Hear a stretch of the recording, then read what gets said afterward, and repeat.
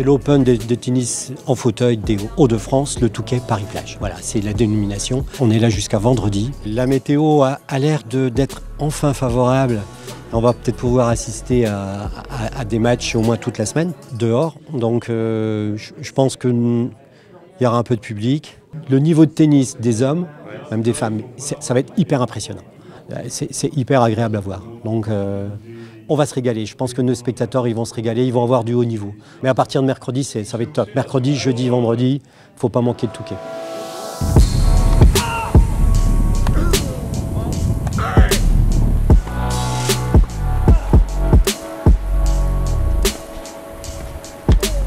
Sommes ravis et fiers d'accueillir ce, tournoi.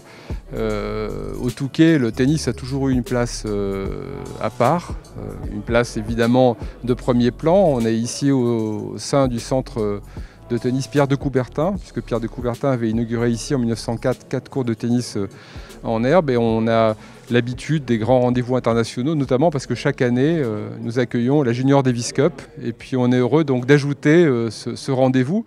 D'autant plus que, vous l'avez entendu, 7 des 8 meilleurs joueurs mondiaux dans la catégorie messieurs seront présents à l'occasion de, ce tournoi. Donc c'est une discipline impressionnante et comme je disais tout à l'heure, certains matchs sont parfois même plus intéressants que les matchs de tennis que l'on peut voir euh, d'ordinaire. Et c'est important voilà, d'insister sur cette catégorie, euh, sur, ce- sur cet aspect de, spectacle. D'ailleurs, moi, ce que je demande et ce que je souhaite, c'est d'ailleurs que les Jeux Olympiques, un jour, voilà, ne fassent plus différence entre le handisport et les Jeux Olympiques.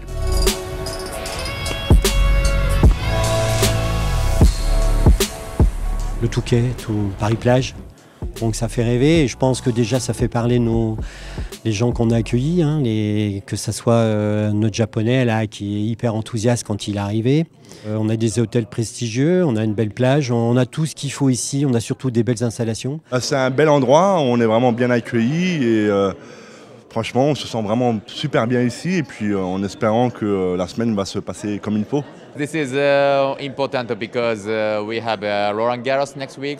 So if uh, the good result here, I, I can get uh, the confidence here.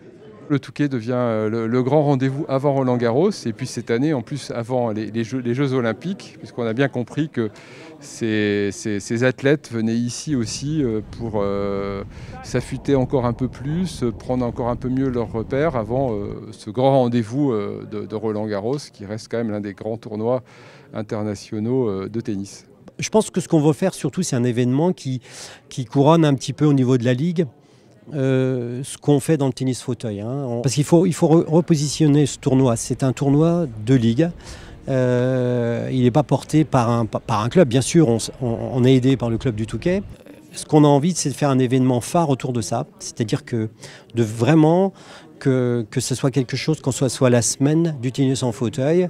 Et on a les clubs qui suivent, on a tout ça, on, achète des fauteuils. euh, voilà, notre politique, c'est d'avancer. Et je pense que cet événement nous permettra d'avancer sur tennis en fauteuil. Écoutez, un, bon tournoi à tous.